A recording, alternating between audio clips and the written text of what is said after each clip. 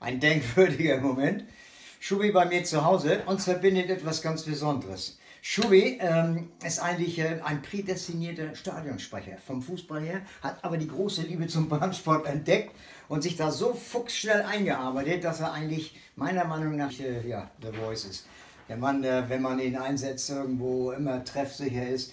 Und wir haben ja viele Jahre zusammen moderiert in ja. Wittstock. Und äh, ich war auf einmal weg und äh, auf der Toilette ich, hör ich dann, wie du sofort reagiert hast und äh, gemerkt hast, da kommt nichts von, vom Co-Sprecher. Da hast du natürlich sofort weitergesprochen. Und ich saß da auf der Toilette und habe fast das Rennen miterlebt, ohne Bilder. Und wusste genau, wer erst als zweiter, dritter, wer noch einen harten Kampf gehabt hat und vieles mehr. Schubi, wir werden in Schesel jetzt am 21. August, das ist ja schon am Wochenende, richtig Gas geben. Und äh, wir haben uns so ein Konzept äh, entwickelt über die Jahre, haben wir immer so, dass du die ersten Start, erste Kurve und so weiter. Und wir werden mal sehen, wie weit sich das Feld auseinanderzieht, ob ich zum Einsatz komme, schon in der Fahrerlagerkurve oder sonst ab zweiter Runde, weil dann kommen auch die technischen Sachen und äh, steht auch mal einer neben mir und erzählt mir ein bisschen was. Und das ist immer ganz äh, toll mit dir. Ja, das haben wir ja irgendwann mal so angefangen. Ich glaube tatsächlich war es nicht mal in Lüdinghausen oder äh, da haben wir eigentlich äh, angefangen und dann äh, in Wittstock natürlich lange Zeit, aber wir waren ja auch zusammen in Melsung genau. und dann irgendwann Schesel. Ne? Und äh, Schesel, da haben wir natürlich beide äh, ja eine gute Erinnerung dran. Du 74, das erste Mal Weltmeister. Ich mit, mit zwei Zahnrädern, 47er und 48er Zahnkranz. Eine ja. Maschine, zwei Ersatzzahnräder. Aber hat geklappt und das ja. also manchmal ist weniger mehr.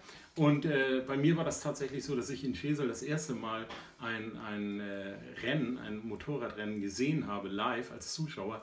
Und irgendwie hat mich das damals so geflasht. Und als wir dann irgendwann, ich weiß gar nicht, vor 10, 12, 15 Jahren das erste Mal zusammen in Schesel waren, äh, da schließt sich dann der Kreis. Und ähm, ja, ich denke mal jetzt am Wochenende, Langbahn-WM, mehr geht nicht in dem Sport. Das ist also das höchste Prädikat. Und ich freue mich natürlich, dass es auf dieser wahnsinnig interessanten Bahn 1000 Meter, also Geschwindigkeiten auf der Gerade 160 bis naja, 180, 190. Ja, siehst du, und da äh, brennt richtig die Luft. Und äh, das USU ist am Start und äh, man muss ganz ehrlich sagen, was die Leute in Schesel über Jahrzehnte äh, dort auf die Beine gestellt haben, das ist äh, einzigartig. Und das ist das Coolste bei uns im Prinzip direkt vor der Haustür.